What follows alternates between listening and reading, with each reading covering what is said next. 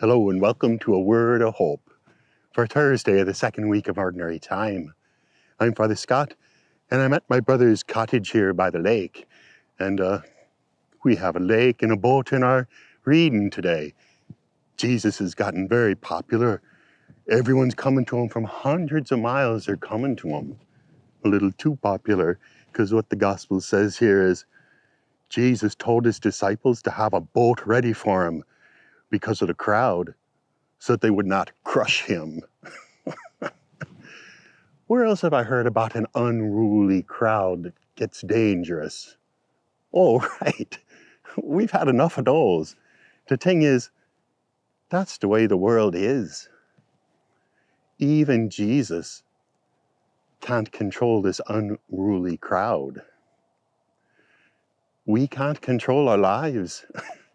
Things happen. And like Jesus, maybe we make a plan B just in case. But then, like Jesus, we need to just go ahead and do our work, get things done.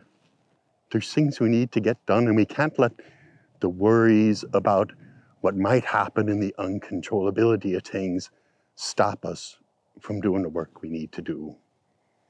That's our word of hope today. God bless you.